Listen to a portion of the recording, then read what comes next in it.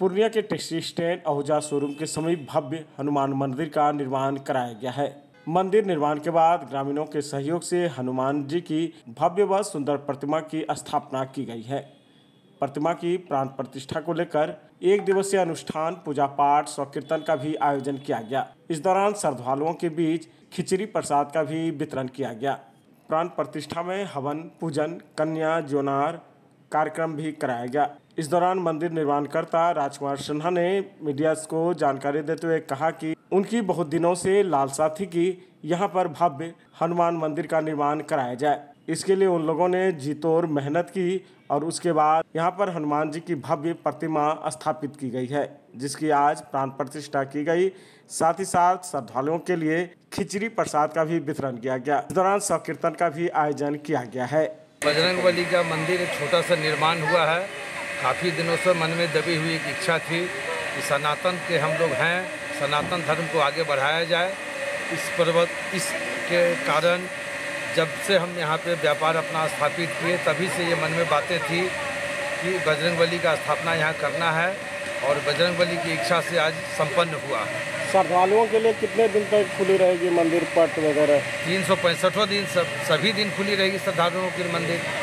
ये किसी खास की नहीं है ये आम मंदिर है।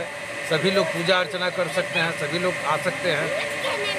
सनातन पे जी आ, मेरे आने के बहुत पहले से ये मंदिर निर्माण था। कोई ज्ञान बहुत पहले से जानकारी मिली कि कोई ज्ञानी झा थे जो यहाँ पे छोटा सा मूर्ति बना कर लगा करके मंदिर का प्राण प्रतिष्ठा करके पूजा पाठ करते रहे और आज हम लोगों ने उस मंदिर को एक नया निर्माण दिया नया रूप दे करके उसी प्राण प्रतिष्ठा करके आज आगे बढ़ा मूर्ति रूप देने में आप लोगों का सहयोग रहा। जी जी जी जी। कौन कौन है इसमें सहयोगकर्ता के तौर पर? सहयोगकर्ता में तो मुख्य रूप से हम और एक अनिल जी हैं बस दो ही आदमी मिल करके हम लोग मंदिर का निर्माण किए हैं। हमारे समझ से तो जो जानकारी था उस हिसाब से ठीक सही हुआ। वैसे तो गलती सही तो हर लाइन में है। अपने जानकारी के अनुसार, जिनका, जितना जानकारी हमको था। कहावत में संस्कृत में एक श्लोक है, कर्मांति, कर्म कुरु मतलब यथा योग्यन यथा योग्यन कर्म कुरु। मतलब जितने योग्यता है वो तरह वहाँ के कर्म, क्या दिलो। जे नहीं जानकारी है वो तो नहीं कर सकते। एहिमे जोड़ल इहो जा सकैए एहन छै। आब देखियौ जेनाकि सब पंडितके सब तरहके बात छै। बड़ा बड़ा विद्वान छै। हम बड़ा विद्वान छी नहि संजोग छै, हिनकर कृपा छै जे ई स्थापना हमरा हाथेमे उन्नैसमा अथीके बाहर में भी पूर्णिया में भी पूर्णिया में भी छोटा और बाहर बाहर।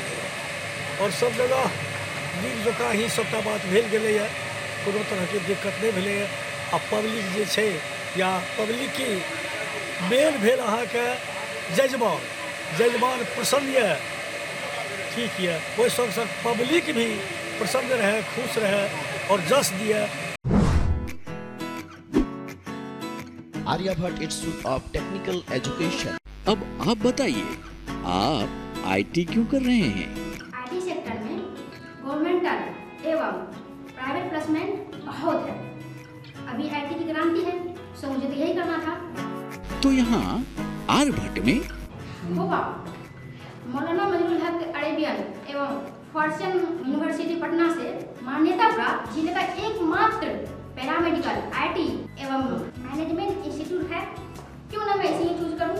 आर्यभट्ट यानी कि सही फैसला थैंक्स टू आर्यभट्ट इंस्टीट्यूट जिसने मुझे दिया कॉन्फिडेंस एवं आगे बढ़ने का हौसला पारा मेडिकल कोर्स करें, नौकरी तुरंत पाएँ। Contact number double seven three nine zero two three double five three campus office Kaptan Para near Durga मंदिर पूर्णिया